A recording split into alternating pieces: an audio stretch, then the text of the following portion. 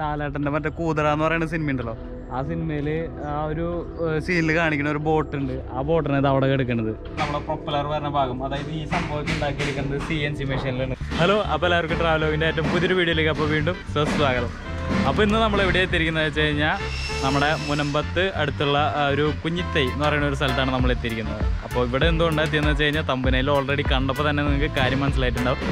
നമ്മളുടെ ഫിഷിംഗ് ബോട്ടുകളെല്ലാം നമ്മൾ ഇവിടെയാണ് ഉണ്ടാക്കുന്നത്. അതായത് കേരളത്തിലെ ഒട്ടുമിക്ക ജില്ലകളിൽ നിന്നും ബോട്ടുകൾ ഫിഷിംഗ് ബോട്ടുകൾ ഉണ്ടാക്കാനായിട്ട് നമ്മുടെ ഈ മുനമ്പം ബോഡീസിലേക്കാണ് മിക്ക ആൾക്കാരും എത്തിച്ചേർന്നത്.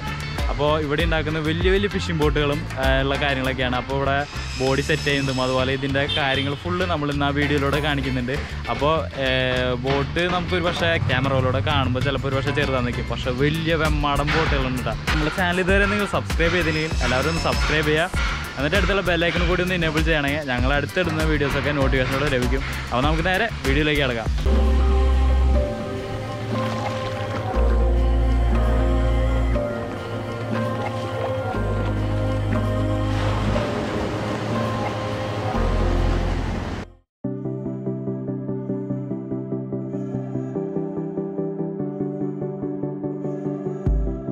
അപ്പോൾ നമ്മൾ പറഞ്ഞില്ലേ നമ്മുടെ ബോട്ടിന്റെ അവിടെ എത്തിയിരിക്കുകയാണ്. ഫിഷിംഗ് ബോട്ട് വലിയ ബോട്ടിന് ഇപ്പം നിങ്ങൾ കാണുന്നത് ബാക്കിൽ കാണുന്നത് സ്ട്രക്ചർ അടിച്ചിട്ട്. അതായത് ഫ്രെയിം മാത്രമായിട്ട് ഫ്രെയിം മാത്രം കയറ്റിയിട്ടുള്ള ബോട്ടിന് അപ്പോൾ ഇതിനെ വേണ്ട.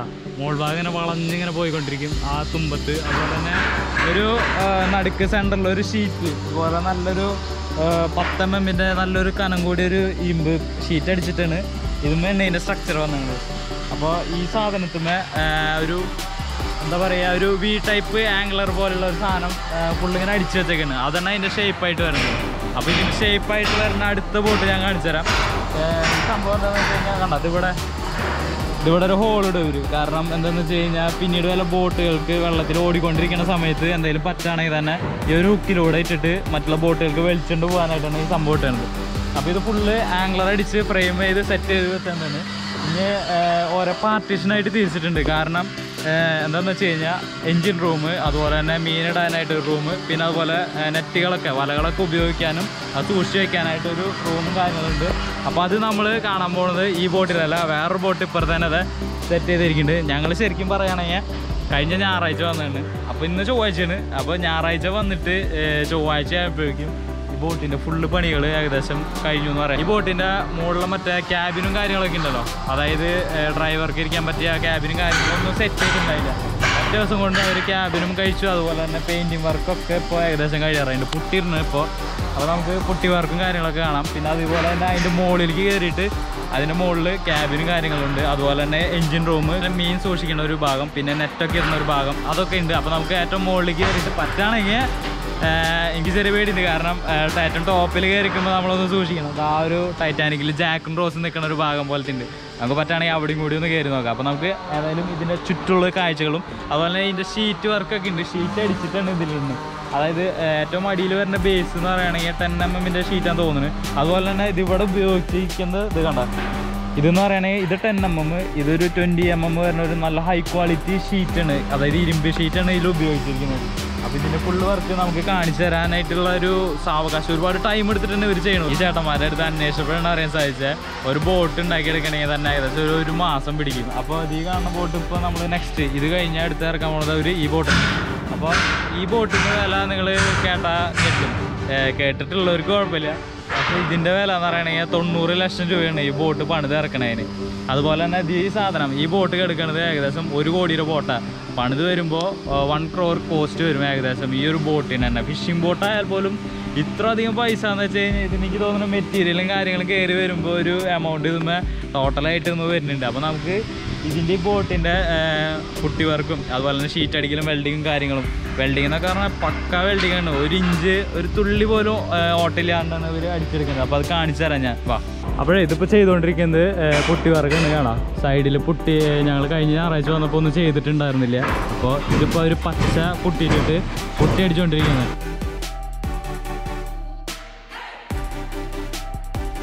വെൽഡിങ് ഞാൻ കാണിച്ചു തരാം. അതാ ഇതുപോലെ നല്ല അടിപൊളിയായിട്ട് വെൽഡ് ചെയ്ത് കൊണ്ടുപോയിട്ടാണ് ചെയ്തിരിക്കുന്നത് ഇത് ഓരോ ഷീറ്റുകളാണ് ഷീറ്റ് വെച്ചിട്ട് വെൽഡ് ചെയ്ത് വെച്ചിട്ടുണ്ട്.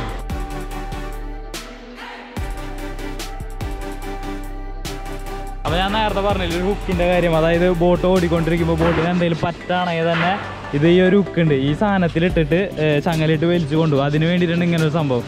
അതുപോലെ തന്നെ ഈ ഒരു ഷേപ്പ് കാണുമ്പോൾ തന്നെ അറിയാലോ നമുക്ക് വെള്ളത്തിനെ തള്ളി രണ്ട് സൈഡിലേക്ക് നീക്കിയിട്ട് സ്പ്ലിറ്റ് ചെയ്തിട്ട് നല്ല ഫാസ്റ്റായിട്ട് പോകാനായിട്ടാണ്. ഇതിന്റെ ബാക്കിൽ പ്രൊപ്പലറും കാര്യങ്ങളും വരുന്ന ഏരിയ ഉണ്ട്. സി എൻ സി മെഷീൻ വെച്ചിട്ടുള്ള ഒരു ഒരു നട്ട് പോലത്തെ ഭാഗങ്ങളൊക്കെ ഉണ്ട്. ടർബൈൻ അതുപോലെ തന്നെ ഇതിന്റെ ഒരു പങ്ക പോലത്തെ ഡ്രൈവർ തിരിക്കുമ്പോൾ ഈ സാധനം ഏകദേശം റൊട്ടേറ്റ് ചെയ്ത് അങ്ങോട്ട് ഇങ്ങോട്ട് തിരിഞ്ഞു പോകണല്ലോ അതിനുള്ള ഭാഗമൊക്കെ ബാക്കിലുണ്ട് അത് ഞാൻ കാണിച്ചു തരാം. അപ്പോഴേ ഇവിടെ ഒരുപാട് വർക്കേഴ്സ് ഉള്ളതുകൊണ്ട് നമ്മൾ മാസ്ക് വെക്കണം. അപ്പോൾ നമുക്ക് നേരെ ഇതിന്റെ മുകളിൽ കയറാം വാ.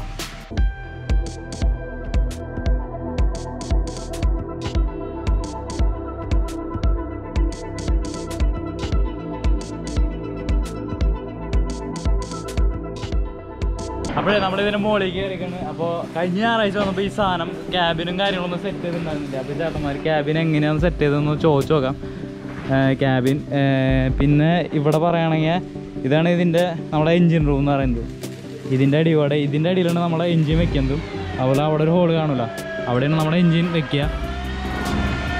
ആണോ? ഈ ഒരു പോർഷനായിട്ട് വരും നമ്മുടെ എൻജിൻ റൂമിന്റെ ഒരു ഭാഗം. ഇത് നമ്മുടെ ഡ്രൈവറുടെയും അതുപോലെ തന്നെ അസിസ്റ്റന്റ് ഒക്കെ ഉണ്ടെങ്കിൽ അവരുടെ ക്യാബിനും കാര്യങ്ങളാണ് ഇവിടെ വരുന്നത്.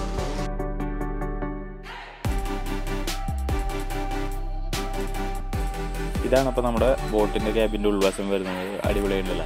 അപ്പോൾ ബോട്ട് ഫുള്ള് മെറ്റലാണെങ്കിലും ഇതിലെ ക്യാബിനും മറ്റു കാര്യങ്ങളൊക്കെ ഫുള്ള് വുഡിലാണ് വരുന്നത്. അപ്പോൾ ഒരു സ്റ്റീറിംഗ് ഒന്നും വെച്ചിട്ടില്ല ഇപ്പോൾ അപ്പോൾ ഇവിടെ നമ്മുടെ ചേട്ടന്മാർ ഇവിടെ ക്യാബിനൊക്കെ സെറ്റ് ചെയ്യാണ് ഈ ബോട്ടിന്റെ മുകളിൽ അപ്പോൾ ഈ താഴെ കാണുന്ന റെയിൽ പോലെ കാണുന്ന ഒരു സംഭവത്തിൽ ഇവർ സ്ക്രൂ ചെയ്ത് പിടിപ്പിക്കുകയാണ് സംഭവം ചെയ്യുക. അല്ലെങ്കിൽ ഈ സംഭവം ക്യാബിനൊക്കെ അങ്ങോട്ടും ഇങ്ങോട്ടും നീങ്ങാൻ സാധ്യതയുണ്ട്.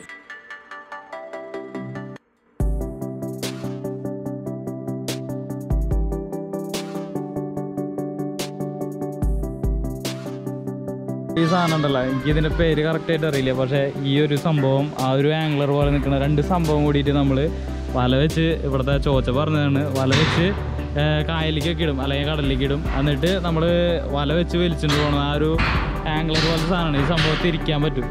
അതായത് അങ്ങനെ തിരിച്ച് വെക്കാൻ പറ്റുന്ന ടൈപ്പാണ് അപ്പോൾ അതിനാണ് ഈ സാധനം യൂസ് ചെയ്യുന്നത്.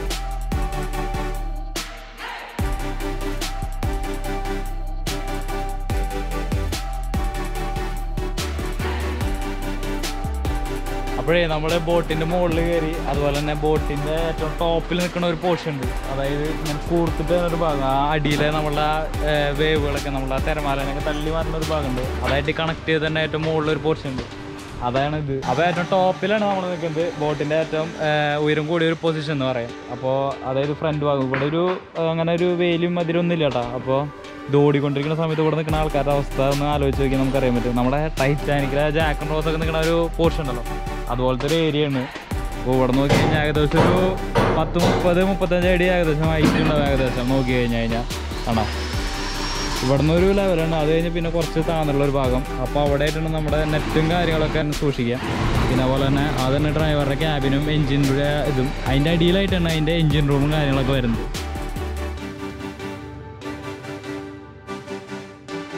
നമുക്ക് അടുത്തത് ഇതിന്റെ എഞ്ചിൻ റൂം ഉണ്ട്. എഞ്ചിൻ റൂമിന്റെ താഴത്തെ ഭാഗത്തേക്ക് നമുക്ക് പോവാം.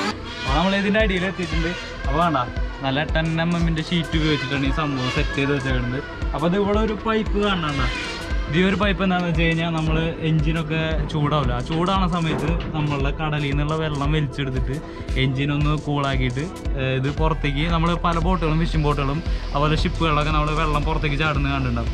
അതെന്താണെന്ന് വെച്ച് കഴിഞ്ഞാൽ നമ്മളുടെ ഈ ഷിപ്പിലെ അതായത് എഞ്ചിനൊക്കെ ഒന്ന് കൂൾ ചെയ്തിട്ട് ഈ വെള്ളം പുറത്തേക്ക് വിടുന്നുണ്ട്. പിന്നെ നമ്മൾ ഈ ഒരു ഭാഗത്തേക്ക് വന്നു കഴിഞ്ഞു കഴിഞ്ഞാൽ നമ്മുടെ പ്രൊപ്പലർ വരുന്ന ഭാഗം. അതായത് ഈ സംഭവം ഉണ്ടാക്കിയെടുക്കുന്നത് സി എൻ സി മെഷീനിലാണ് ഇതുപോലുള്ള ഈ ഈ നട്ട് പോലുള്ള ഭാഗങ്ങൾ സി എൻ സി മെഷീൻ വെച്ചിട്ടാണ് ഉണ്ടാക്കിയെടുക്കുന്നത്. അപ്പോൾ ഇതിലാണ് നമ്മുടെ വലിയ പ്രൊപ്പലർ വരിക ഒരെണ്ണം ഉണ്ടാവുള്ള ഓരോ ഒരു പ്രൊപ്പലറിന് ഈ ഒരു വലിയൊരു ഫിഷിംഗ് ബോട്ടിനെ തള്ളി നീക്കാനായിട്ട്. എന്നിട്ട് ഇതിന്റെ ഈ ഒരു എൻഡ് പോർഷനിൽ ഇതുപോലെ ഒരു സംഭവം വരും. കണ്ടോ? ഇവിടെ ഒരു ഹോളും അതുപോലെ തന്നെ താഴത്തെ ഒരു ഹോളും ഈ ഒരു സംഭവത്തിലാണ് നമ്മുടെ ഡ്രൈവറുടെ സ്റ്റീറിംഗ് വെച്ചിട്ട് നമ്മൾ ഈ ബോട്ട് മാനേജ് ചെയ്ത് വളച്ചും തിരിച്ചൊക്കെ കൊണ്ടുപോകുന്ന ഒരു സാധനം ഉണ്ടല്ലോ. അതാണ് ഇത് കാണുന്നത്. ഈ ഡോർ പോലെ കിടക്കുന്നത്. ഒരു നാലടി ഹൈറ്റ് ഉണ്ടാവും ഏകദേശം. ഇതിന്റെ ഈ എൻഡ് പോർഷൻ ഇതിവിടെ കണക്ട് ചെയ്യും. അതുപോലെ തന്നെ ഈ ടോപ്പ് പോർഷൻ നമ്മുടെ ഈ മുകളിലത്തെ ഭാഗത്തായിട്ട് ഇവിടെ കണക്ട് ചെയ്യും. അതിനാണ് നമ്മുടെ ഈ പ്രൊപ്പലർ കറങ്ങണതിനനുസരിച്ച് ഫോഴ്സ് കൂടുമ്പോൾ ഈ സംഭവം അങ്ങോട്ടും ഇങ്ങോട്ടും തിരിക്കുമ്പോൾ നമ്മുടെ ഡ്രൈവർ തിരിക്കുമ്പോൾ ഈ ഫിഷിംഗ് ബോട്ട് അങ്ങോട്ടും ഇങ്ങോട്ടും നമുക്ക് എങ്ങനെയാണെന്ന് വെച്ച് കഴിഞ്ഞാൽ ഓടിച്ചു കൊണ്ടുപോകും ആ ഒരു സംഭവമാണ് നമ്മളിവിടെ കണക്ട് ചെയ്തേക്കുക അപ്പോൾ ഒരു കണക്ട് ചെയ്തില്ല. അതിന് മുന്നുള്ള കാര്യങ്ങൾ ഇപ്പോൾ സെറ്റ് ചെയ്ത് ഏകദേശം വെച്ചിട്ടുള്ളൂ ഇതിൽ പ്രൊപ്പലറും വെച്ചിട്ടില്ല. ഇനി ഇതൊക്കെ വെക്കും. അതുപോലെ നേരത്തെ അവിടെ ഒരു ഹോൾ കാണിച്ച പോലെ തന്നെ ഇവിടെയും ഒരു ഹോളുണ്ട് കണ്ടോ? നമ്മുടെ കടലിൽ നിന്നുള്ള വെള്ളം വലിച്ചെടുത്തിട്ട് എഞ്ചിനിലേക്ക് വിട്ടിട്ട് അത് കൂളാക്കിയിട്ട് പുറത്തേക്ക് വിടും. അതിനുള്ള സംഭവമാണ്. അതുപോലെ തന്നെ എഞ്ചിൻ റൂം ഈ ഒരു സൈഡിലായിട്ട് വരും. ഇതിന്റെ എഞ്ചിൻ റൂമാണ് നമ്മൾ നേരത്തെ പറഞ്ഞില്ലേ നമ്മുടെ എഞ്ചിനൊക്കെ വെക്കണ റൂമാണിത് എഞ്ചിൻ റൂമാണിത് അപ്പോൾ ഒരു മുകളിൽ ചെറിയ ഹോൾ ഇട്ട് എന്തെന്ന് വെച്ച് കഴിഞ്ഞാൽ മുകളിൽ നിന്നാണ് നമ്മളുടെ എഞ്ചിൻ ഇതിലേക്ക് ഇറക്കി വെക്കുന്നത്. ഇറക്കി വെച്ചിട്ട് നമ്മൾ സംഭവം അവിടെ കണക്ട് ചെയ്യും. അപ്പോൾ അവിടെ ഒരു ഹോൾ കണ്ട അതിൽ നിന്ന് മുകളിലേക്ക് ഡ്രൈവറുടെ ക്യാബിനിലേക്ക് ഒരു സ്റ്റിയറിങ് പോവും. അതിന് വേണ്ടിയിട്ടാണ് ചെയ്യുന്നത്. അതുപോലെ തന്നെ ഇതിവിടെ ഈ മൂന്ന് ബോക്സ് കാണുന്നത് എന്താണെന്ന് വെച്ച് കഴിഞ്ഞാൽ ഈ രണ്ട് ബോക്സ് വരുന്നത് ഡീസൽ നമുക്ക് വെക്കാനായിട്ടുണ്ട്. അതായത് ഇതിന്റെ ഫ്യൂവൽ ഡീസലാണല്ലോ ഡീസൽ സ്റ്റോർ ചെയ്യാനായിട്ടാണ് ഈ രണ്ട് ബോക്സുകൾ വരുന്നത്. അതുപോലെ നടുക്കത്തെ ഒരു ബോക്സ് വരുന്നത് ഇതിന്റെ വെള്ളം ശേഖരിക്കാനാന്ന് പറഞ്ഞത് അതുപോലെ തന്നെ അടിയിൽ നിന്ന് വരുന്ന പൈപ്പ് മുകളിലേക്ക് കണക്ട് ചെയ്ത് വരുന്നുണ്ട്. എൻജിൻ കൂളാക്കാനായിട്ട് അപ്പോൾ ഇതിലാണ് ഇതിന്റെ എൻജിൻ വരിക എൻജിൻ ഈ മുകളിൽ നിന്ന് താഴേക്ക് ഈ ഒരു പെട്ടിയിലൂടെ അതായത് ഇത്ര ഒരു വലിപ്പം ഉണ്ടാവുള്ളൂ എന്ന് പറഞ്ഞ എൻജിൻ ഇതിൽ കൂടെ ഇറക്കി താഴേക്ക് വെക്കും. അങ്ങനെയാണ് ഇതിന്റെ എൻജിൻ വെച്ച് കണക്ട് ചെയ്ത് പ്രൊപ്പലറായിട്ട് കണക്ട് ചെയ്യുന്നത്. മുകളിൽ നമ്മൾ മരത്തിന്റെ വലയ കൊടുത്തത് കാരണം എന്താണെന്ന് വെച്ച് കഴിഞ്ഞാൽ അത്രയും ഹീറ്റ് നമ്മുടെ എൻജിന് ഉൾക്കൊള്ളാൻ പറ്റില്ല. ചിലപ്പോൾ ഹീറ്റ് കൊടുത്തു കഴിഞ്ഞാൽ ഭയങ്കര ഹീറ്റ് ആവില്ല അപ്പോൾ ഈ മരം കൊടുത്തു കഴിഞ്ഞാൽ പെട്ടെന്ന് ഹീറ്റ് ഉൾക്കൊള്ളാനുള്ള ഒരു കപ്പാസിറ്റി നമ്മുടെ എൻജിന് അതിന് വേണ്ടിയിട്ടാണ് മുകളിൽ മരത്തിന്റെ പല വെച്ചാണ് ഇത്രയും വലിയ പോർഷനിലാണ് നമ്മുടെ ഈ ഒരു എൻജിൻ വരിക നമ്മുടെ ചൈനയിൽ നിന്നുള്ള എൻജിൻ അതുപോലെ ഇന്ത്യയിൽ വന്ന് അസംബിൾ ചെയ്ത് അങ്ങനെ എന്തോ ഒരു പരിപാടി ഉണ്ട് ഇവിടെ. അപ്പോഴേ നമ്മൾ ഇവിടെ വന്നപ്പോഴാണ് നമ്മുടെ ചേട്ടൻ പറഞ്ഞത് അതായത് നമ്മുടെ ലാലേട്ടന്റെ മറ്റേ കൂതറ എന്ന് പറയുന്ന സിനിമ ഉണ്ടല്ലോ. ആ സിനിമയിൽ ആ ഒരു സീനിൽ കാണിക്കുന്ന ഒരു ബോട്ട് ഉണ്ട് ആ ബോട്ടാണ് ഇത് അവിടെ കിടക്കുന്നത് അപ്പോൾ അത് ഞാൻ ഇത്തിരി കൂടി സൂം ചെയ്ത് കാണിച്ചാൽ എന്താ കിടക്കുന്നത് ആ ലെഫ്റ്റിൽ ആ ഒരു നീല ബോട്ടില്ലേ അത് ആ സിനിമയിൽ സീനിൽ കാണിക്കുന്ന ബോട്ടാണ് അപ്പോൾ നമ്മുടെ ബോട്ട് ഉണ്ടാക്കുന്നുണ്ട് ഫിഷിംഗ് ബോട്ട് ഉണ്ടാക്കുന്ന ഒരു വർക്കിംഗ് പ്രോസസ്സ് നമ്മൾ കണ്ടില്ലേ? അതായത് ആദ്യം ഫ്രെയിം അടിച്ചു അതിനുശേഷം ഷീറ്റ് ഒട്ടിച്ച് വെൽഡ് ചെയ്ത് പിന്നെ ബാക്കിയുള്ള ഒരുപാട് പണികളുണ്ട്. നമുക്ക് എടുത്ത് പറയുകയാണെങ്കിൽ തന്നെ എത്ര എനിക്ക് തോന്നുന്നു പത്തൊമ്പത് വർക്കേഴ്സിന് മേലെ അവിടെ പണിയുണ്ട്. ഈ ഭാഗത്ത് തന്നെ ഒരു അഞ്ചെട്ട് പേര് ചെയ്യുന്നുണ്ടെന്ന് തോന്നുന്നു. കാരണം വെള്ളം അതുപോലെ തന്നെ ഫിഷിംഗ് ബോട്ടും അതുപോലെ തന്നെ ഇതിന്റെ മെയിന്റെനൻസും കാര്യങ്ങളൊക്കെ ഈ ഒരു ഏരിയയിലായിട്ട് വരുന്നുണ്ട്. അപ്പോൾ നമ്മളിപ്പോൾ ഇന്ന് കാണിച്ചത് നമ്മളുടെ ഒരു ഫിഷിംഗ് ബോട്ട് എങ്ങനെയാണ് അത് വർക്ക് ചെയ്തെടുക്കുന്നത്. അതായത് അത് പണി കഴിപ്പിച്ചെടുപ്പിക്കുന്നത് എങ്ങനെയാണെന്നാണ് നമ്മൾ ഇന്നത്തെ വീഡിയോയിൽ കാണിച്ചത്. നല്ല അടിപൊളി ബാക്ക്ഗ്രൗണ്ടിലാണ് കാരണം നോക്കിയാൽ അവിടെ നോക്കി കഴിഞ്ഞാൽ മൂന്നാൽ ചീന വലകളും കാര്യങ്ങളൊക്കെ കാണാം. പറ്റാണെങ്കിൽ ഭാഗ്യം ഉണ്ടെന്നുണ്ടെങ്കിൽ നമുക്ക് ചീന വലയിൽ പോയിട്ട് നമ്മളുടെ അവിടെ പോയിട്ട് മീൻ പിടിക്കുന്ന കാര്യങ്ങളും അതുപോലെയൊക്കെ ചിലപ്പോൾ പ്രതീക്ഷിക്കുക അതൊരു വീഡിയോ ചിലപ്പോൾ നിങ്ങളുടെ മുന്നിലേക്ക് എത്തും. നമ്മൾ ഈ വീഡിയോ ഇവിടെ വെച്ച് ഞാൻ അവസാനിപ്പിക്കുകയാണ്. അപ്പോൾ നമ്മുടെ ചാനൽ ഇതുവരെ നിങ്ങൾ സബ്സ്ക്രൈബ് ചെയ്തില്ലെങ്കിൽ എല്ലാവരും ഒന്ന് സബ്സ്ക്രൈബ് ചെയ്യുക. അടുത്തുള്ള ബെല്ലൈക്കൺ കൂടി ഒന്ന് ഇനേബിൾ ചെയ്യണമെങ്കിൽ ഞങ്ങൾ അപ്പം ഇടുന്ന വീഡിയോസൊക്കെ നിങ്ങൾക്ക് നോട്ടിഫിക്കേഷനിലൂടെ ലഭിക്കും. സബ്സ്ക്രൈബ് ചെയ്താൽ മാത്രം പോരാട്ടെ അടുത്തുള്ള ബെല്ലൈക്കൺ ഒന്ന് ഇനേബിൾ കൂടി ചെയ്യണം. നല്ല നോട്ടിഫിക്കേഷൻ വരുള്ളൂ. അപ്പോൾ നമ്മുടെ ചാനൽ ഇഷ്ടപ്പെട്ടെങ്കിൽ മറ്റുള്ളവർക്ക് ഷെയർ ചെയ്ത് കൊടുക്കുക. വീഡിയോ ഇഷ്ടപ്പെട്ടെങ്കിൽ ലൈക്ക് ചെയ്യുക. അപ്പോൾ മറ്റൊരു വീഡിയോ കാണാം. അതായിരിക്കും. ബൈ